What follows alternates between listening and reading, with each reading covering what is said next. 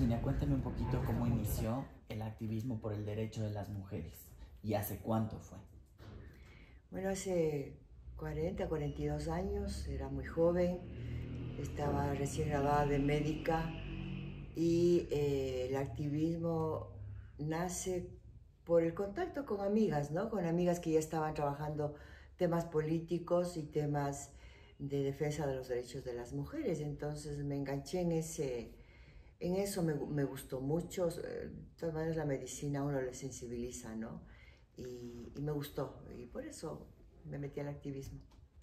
En la ruralidad hay más pobreza, ¿no? Y todos mm. los problemas son más, eh, más profundos, más dramáticos. Eh, yo en la ruralidad vi cosas terribles, eh, niños muertos, niñas muertas, qué sé yo.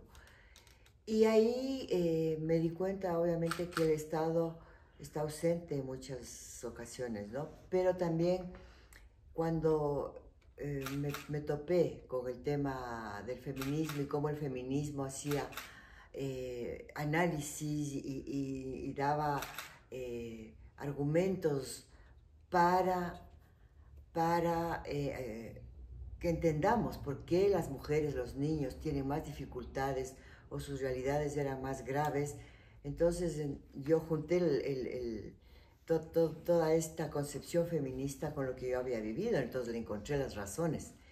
Y claro, por ahí las respuestas se fueron configurando, ¿no? En, en todo un proceso en el que finalmente la, sociedad no solo es eh, capitalista, digamos, no solo hay explotación o, que uno se queda con la riqueza y, hay pobres, también hay otras razones por las cuales hay, eh, hay sufrimiento, hay dolor, hay violencia y eso se llama patriarcado, se llama machismo. Entonces esta juntura de, de, estas sociedades en donde hay depredación de la naturaleza, hay una obsesiva eh, ganancia, lucro, eh, más estos pensamientos eh, en donde se ejerce el poder de una manera terrible en contra de las mujeres, en contra del más débil, de los niños, de, los, de las personas adultas mayores, del migrante, de la migrante, que, que, obviamente vienen en situaciones de absoluta desventaja, pues ahí uno entiende ¿no? que el feminismo es una lucha para que haya igualdad, para que haya equidad. Eh, y para que no solamente las mujeres vivamos mejor, también los hombres y todas las diversidades eh, sexuales, eh, étnicas, migratorias. el feminismo defiende la vida para todo el mundo, no solo para las mujeres. Usted como presidenta de la Fundación Desafío, ¿qué, ¿qué es lo que se hace desde la Fundación y usted como persona? ¿Por qué se pelean por estos derechos y qué es lo que se ha logrado hasta ahora? El movimiento de mujeres y el movimiento feminista no solo a nivel del Ecuador, sino a nivel mundial ha logrado mucho, ¿no? Y creo que lo que eh, es más importante es haber cambiado a las mujeres de ese imaginario de sumisión, de, de víctima, para trabajar en un imaginario en donde las mujeres somos eh, capaces de ser ciudadanas que aportan al desarrollo de un país. No creo que hayamos logrado un 100% de eso, pero hemos logrado mucho en ese sentido. Y las mujeres ahora tenemos otro pensamiento, las jóvenes ahora tienen otro pensamiento, toman decisiones que tienen que ver con sus proyectos de vida, ¿no? Ya, ya la maternidad no es un destino, es una opción. Ya eh, el, el, casarse, el tener un hombre al lado, eh, incluso esto de que eh, nos casamos y adoptamos el apellido del hombre con el que nos casamos, eso ya no existe, o sea, eso, eso afortunadamente eh, ha ido desapareciendo, ¿no? Ya no he oído a mujeres que digan soy, la, soy fulana de no sé qué, o sea, yo ya no he oído eso, pero creo que son logros importantes y las mujeres ya nos sabemos capaces de ser presidentas, de ser ministras, de ser ingenieras robóticas, qué sé yo, o sea, ya las mujeres tenemos un, pensamiento distinto, producto de que ha habido un movimiento feminista que lo ha hecho posible. Hay algo que usted destaca y sobre todo en, en, el enfoque de su lucha que es el derecho de la educación sexual en niñas y adolescentes. Sí, Eh, hay, hay, algo que para nosotras, yo, yo, soy una médica feminista, es muy importante, ¿no? Es que eh, tengamos derecho a ser libres. ¿sí? La libertad, tal como dice la Constitución, que en el Ecuador nacemos libres. Pero claro, la libertad es eh, un concepto que no, una forma de vida en donde las mujeres no estamos equiparadas con las libertades de, que viven en las otras personas. O sea, las mujeres nacemos menos libres que los hombres, porque tenemos una especificidad biológica que tiene que ver con la maternidad. Y todavía no somos, ni el Estado nos da la capacidad de eh, tomar decisiones sobre nuestra capacidad reproductiva con libertad. O sea, este es un país en donde a las mujeres las obligan a parir cuando no quieren. Hasta hace tres años las obligaban a parir producto de una violación, las mujeres parían producto de un crimen, le parían hijos a violadores, que incluso eran los padres, y eso lo hacían con las niñas, con las adolescentes. Ha sido el movimiento de mujeres y el movimiento feminista quien ha hecho posible que eso ya no sea así, que se haya despenalizado el aborto en una cuestión tan básica como es la violación. El movimiento gay, por ejemplo, el movimiento por los derechos de las diversidades sexuales ha hecho posible que hombres eh, con hombres, mujeres con mujeres puedan casarse, ¿sí? Les falta el derecho a adoptar, que eso es una parte que todavía no, no, se permite, ¿no? Pero que debería permitirse porque eso es no ser libres, o sea, la libertad tiene que ver con todo eso.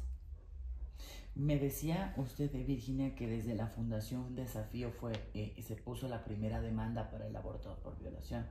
Sí, la Fundación Desafío con la Coalición Nacional de Mujeres, con el Frente Ecuatoriano por la Defensa de los Derechos Reproductivos, en julio del 2019 pusimos la primera demanda de inconstitucionalidad para que la Corte despenalizara el aborto en caso de violación. Eh, lo hicimos eh, tomando en cuenta que estábamos en la lucha en la asamblea para que sea la asamblea la que despenalice.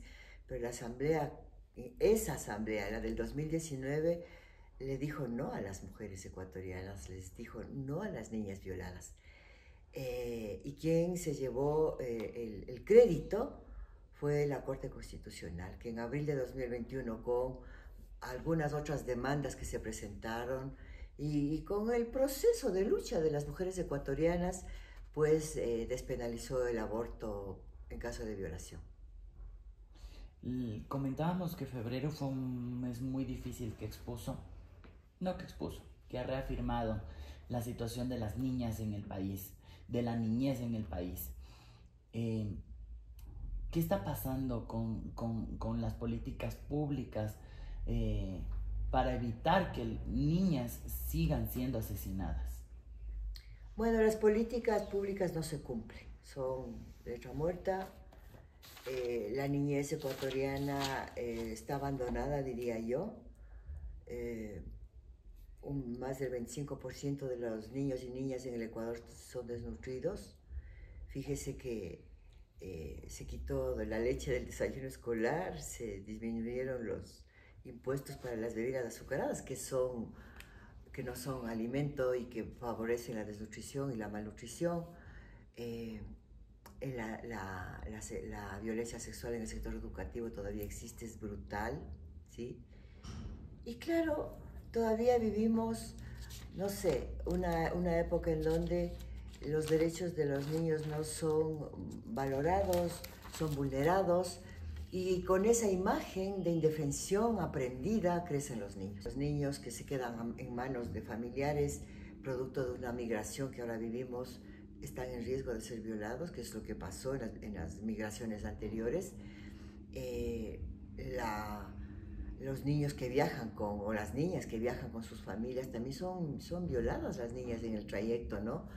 Pero eh, el caso de Dana, el caso de estas dos niñas asesinadas de una manera brutal, fíjese que son niñas las, las asesinadas, ¿no? Son, el femicida mata a las niñas, ¿no? A sus hijas mujeres, y las mata por, por dinero, porque quería cobrar una póliza, ha habido otros que han matado, han mandado a matar a, niñas, a niñas nuevamente. En Tulcán pasó una cosa parecida que mandó a matar un, un policía a una niña por no pagar la pensión de alimentos. Entonces, Fíjese que es como un patrono. Mi pregunta es si fueran niños, ¿los matarían también? Probablemente que sí, no sé. Pero resulta y es casual que solo sean niñas las asesinadas. Entonces, eh, eso da cuenta de que la, la, seguridad o la tal guerra interna es una guerra contra las mujeres. Esa guerra la vivimos las mujeres siglos, décadas en este país. Entonces es, es, hay que hacer esa pregunta, ¿no? Si solamente estamos en guerra porque hay delincuentes que matan a la gente que quieren robar o si hay otras guerras que no quieren ver, como la guerra en contra de las mujeres, porque la violencia contra las mujeres es una guerra, es una guerra que la vivimos las mujeres muchos años, siglos. Para terminar, Virginia, eh, ¿cuáles son las necesidades inmediatas de la capital en tema de género? Yo creo que una, una, una, cosa que no hacen los gobiernos y los estados y no entienden y que deberían hacer es trabajar en políticas de prevención. O sea, se dedican a, a llorar sobre la leche derramada, como dice el dicho. Cuando las mujeres están muertas, asesinadas, violadas, eh, hay legislación para eso. Pero, ¿qué hacen para que eso no suceda? Y es lo que planteamos las, las mujeres, las feministas en este país.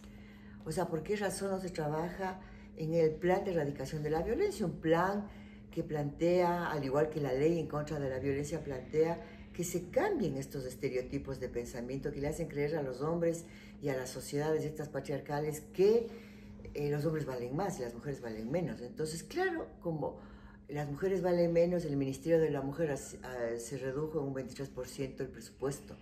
Cuando, cuando hay una violencia cotidiana contra las mujeres y las niñas. Entonces, eh, las casas de refugio siempre están eh, necesitadas, eh, los centros de atención siempre están necesitados, todo el trabajo que significa prevenir la violencia sexual no existe porque educación sexual integral en el sistema educativo en este país no existe, incluso hay toda una tendencia y una lucha para que no se dé, lo cual me parece una barbaridad, ¿sí? Entonces falta, eh, falta mucho, ¿no? Falta, falta que se despenalice el aborto eh, totalmente, que es, es, es, una reivindicación y es un objetivo que en algún momento las mujeres lo vamos a conseguir, por poner varias, varios desafíos. La violencia política, lo hemos visto en las elecciones, cómo han sido violentadas políticamente muchas candidatas, aludiendo a, los, a su sexualidad a su aspecto físico, o sea, todavía tenemos muchas cosas que, por las que luchar.